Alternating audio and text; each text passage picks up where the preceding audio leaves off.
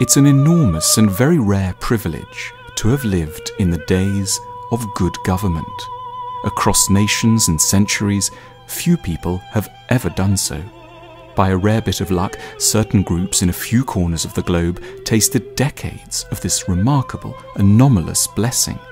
They might, foolishly, especially if they travelled little, seldom read history books, or had a very high estimation of their own populations, they might even have started to assume it was a natural or God given norm.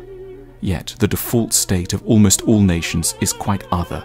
It is authoritarianism, bullying, demagoguery, corruption, monopoly, racial segregation, and state sponsored aggression and murder. We will not now, it seems, be living in dramatically unusual times. It was the years before that will be remembered as unusual, a daring bet against the facts of our nature. We aren't sliding into a new age of darkness, we are reverting to a mean. Civilization was always simply an unlikely concept. Those who are afraid are typically reassured by optimism. All will eventually be well, the kindly tell them. But we need stiffer, darker counsel. We should explore not what might ideally happen, which leaves us oscillating painfully between hope and despair, but what will happen if the worst comes to pass. We need to make ourselves entirely at home with catastrophe, looking at it squarely in the eye, so as not to keep catching glimpses of it here and there, and so taking fright anew every time. We stand to see that whatever comes to pass will, in a desperately reduced and pitiful form, still be survivable.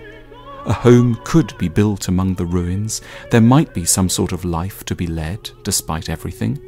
Nothing is ever properly unbearable, not least because we always retain access to the best escape route. The Stoic philosophers of ancient Rome, those poor souls, agitated beyond compare by the antics of their hysterical, thin skinned, murderous emperors, were known to calm themselves down by holding up their veins to the light and calling out, Freedom! knowing it could, if it came to that, all be over in minutes. We shouldn't be surprised by our fellow citizens. This is what the human animal is really like. Very sweet at points from close up, usually generous to small children and the elderly, hard working, but highly prone to delusion, tribal, offended by strangers, uninclined to rational analysis, and with a fondness for slaughter and reckless messianic plans. The elite, routinely derided as out of touch, and not so on the basis of forgetting how much milk or the rent costs, rather on the basis of forgetting how dark and broken human nature really is. There's a natural longing to do something quickly and angrily. There's an equal longing to give up and hide, the counsel of quietism. Neither feels quite right, neither endurance nor explosion.